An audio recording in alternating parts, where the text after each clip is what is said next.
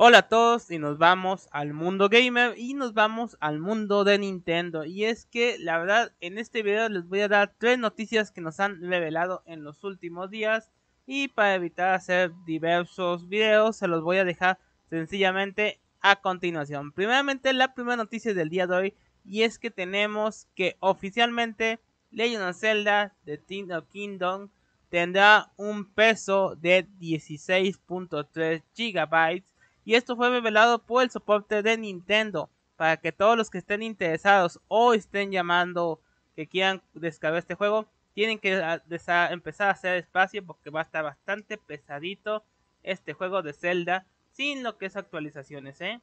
Segundo noticia del día de hoy es que el juego fue filtrado. Así es, nosotros no queremos dar malas noticias, pero al parecer el juego de Legend of Zelda el más nuevo, el que apenas iba a salir en aproximadamente una semana, fue filtrado a través de 4chan, siendo que se filtró completamente todo el juego y ya muchos internautas están jugándolo ilegalmente en emuladores y diversas cosas. Lo que hará que vamos a ver qué tanto le pega a Nintendo esta filtración del juego y que ver cómo va a ser sus ventas en más adelante. Y como tercera noticia es que tenemos información y es que va a haber mantenimiento. Para todos los que estén interesados en esto, es que va a haber un mantenimiento el próximo 9 de mayo a las 10 de la mañana hasta las 2 de la tarde. Este mantenimiento va a afectar lo que es la Nintendo Switch y la Nintendo 3DS.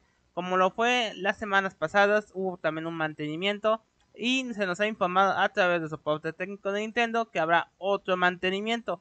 Vuelvo a repetir, va a ser desde las 10 de la mañana hasta las 2 de la tarde y va a ser el próximo 9 de mayo del 2023.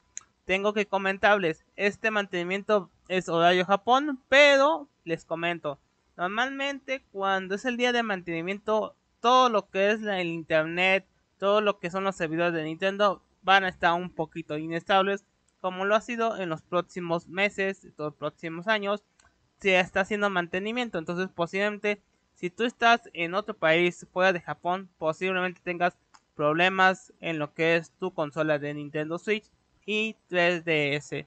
Y esta es la tercera y última noticia que tenemos el día de hoy. Y si quieres saber más noticias sobre el mundo geek, te invito a que te suscribas. Y si quieres ver este tipo de videos, déjame en las cajas de comentarios para intentar hacer videos así con más de una noticia en un solo video.